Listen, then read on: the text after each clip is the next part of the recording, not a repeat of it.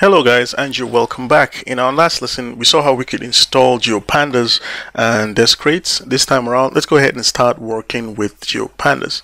So the first thing I'm going to do is to import GeoPandas. So I'm going to import GeoPandas as GPD and let's just give that space and zoom in and I'm going to import Shapely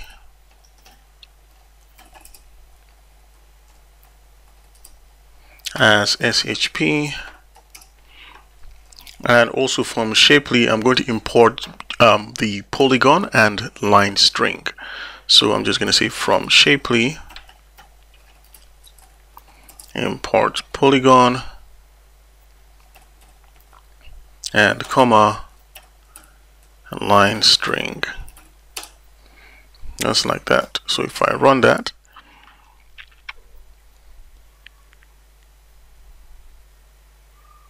So let's just go ahead and see what that. So this is shapely.geometry. Sorry about that, guys. Shapely.geometry class. So we're going to import line string.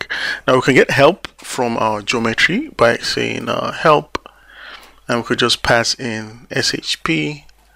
That's shapely.geometry and if you run that we should get the built-in default help this is going to show you the classes that exist for instance we can see we have multi-string multi-point multi-polygon, point polygon, and proxy. So these are all classes that exist.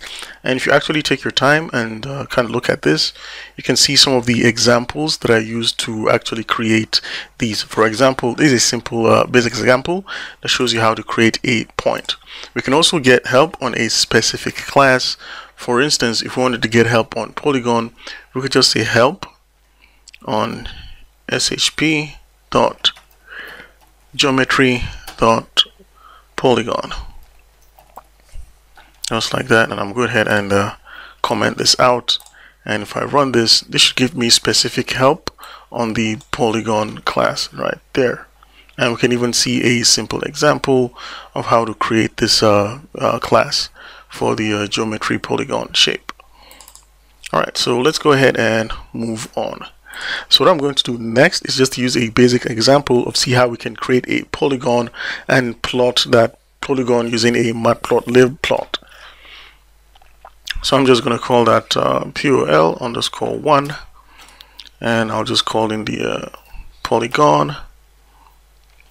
And then here I'm just going to create a list and of pair values right? So I'm going to create three points for our polygon shape and these are going to be comma separated.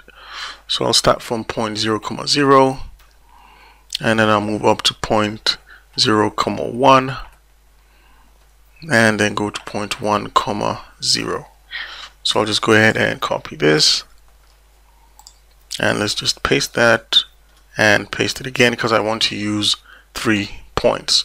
So I'm going to call this poly underscore 2 and this is POL because I want it to be a short for a polygon. Just like that. And for these next set of points I'm going to set this as 1 comma 0 and I'm going to leave that as 1 comma 0 as well.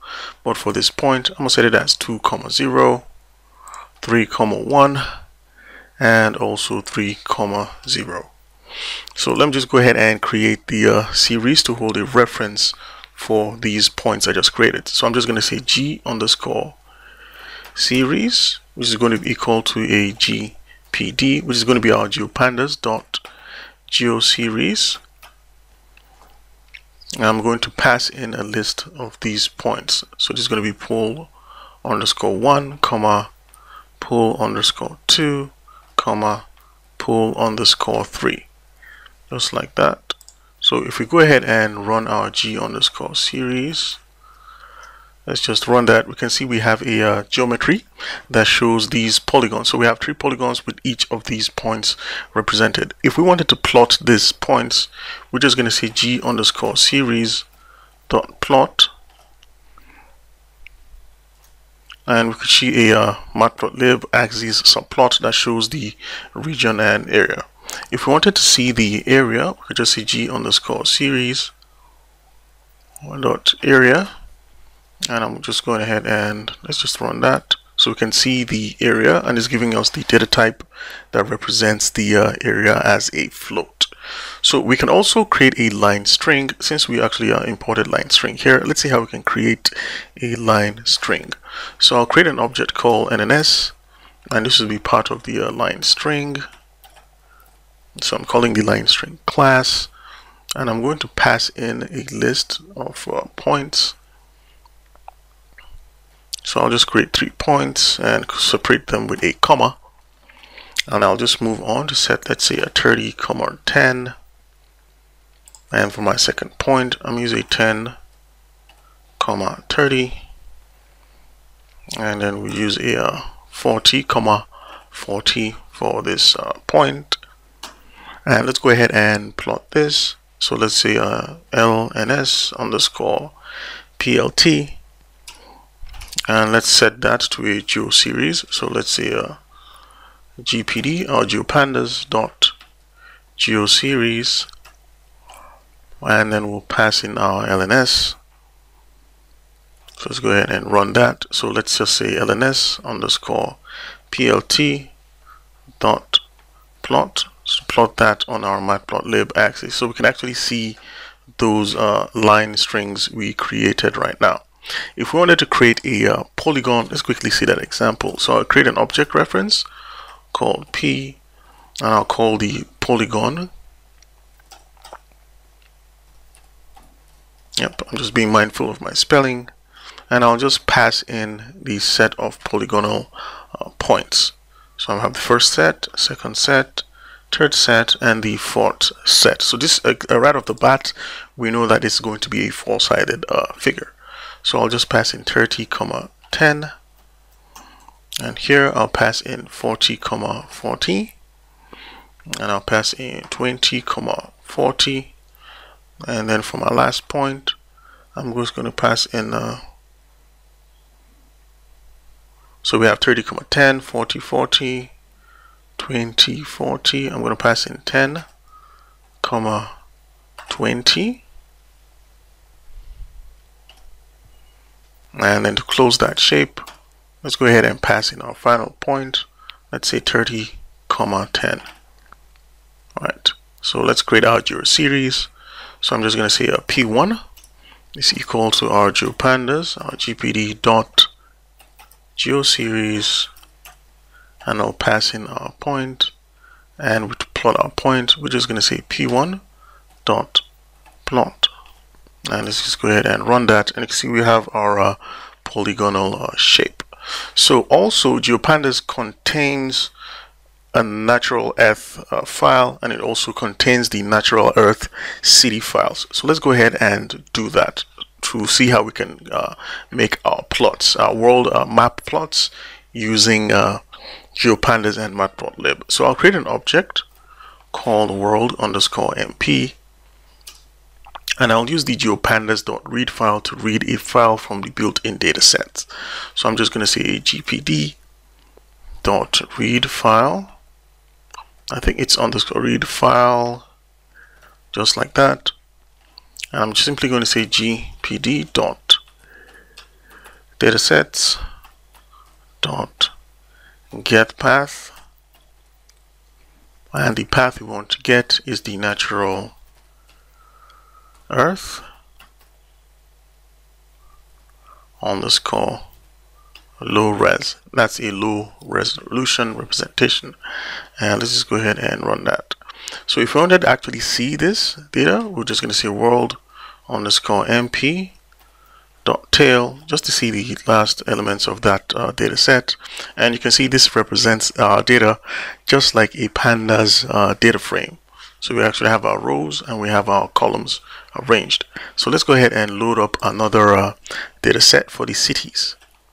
So I'm just going to create an object called cities and I'll do a GPD. These are GeoPandas dot read underscore file and again I'm just going to say my GPD dot datasets dot get underscore path and I'll be reading from another built-in dataset of the natural earth series. So I'm just going to say natural earth underscore cities. And I'll go ahead and run that also.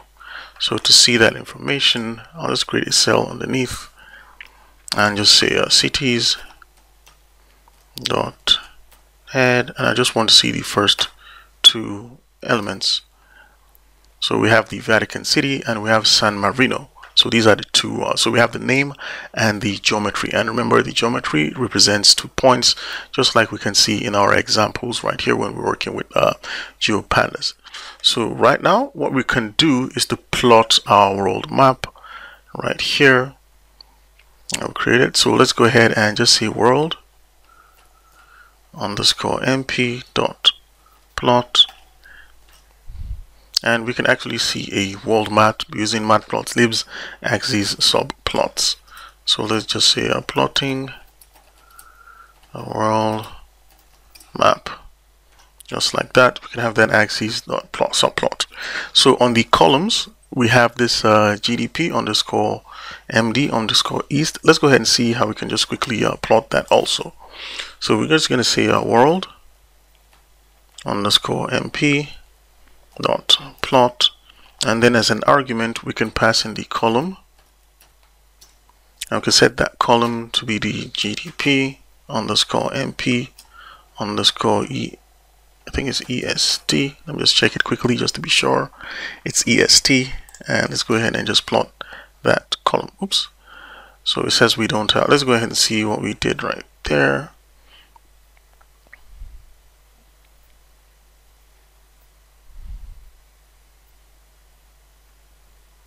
So it says we have a key error and let's see where that key error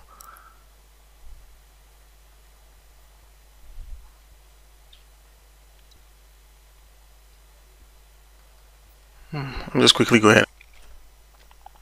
So looking at this error, I think the problem is because we've already have a um, plot already and we're trying to override this plot that exists. Let's see what happens when we take this and just cut that and place that within our world plot and run that cell. I think, okay, it has to do with the, let's see, we have GDP underscore MD. Oh, sorry about that, guys. It was a typo. So uh, right here, the column name says, uh, let me just get back here and show you where that problem is coming from it actually does not see that column name because I actually uh, spelled out rubbish. So sorry about that guys. And so it's GDP underscore MD, not MP. So it's MD underscore East. So if I switch this back to MD, we shouldn't have a problem. Really sorry about that guys. So you can actually see how uh, if I, uh, uh being careless, I can actually create more problems within my code. So it was actually a uh, D, not a P. So it's actually plotting out this uh, section from the uh, world map.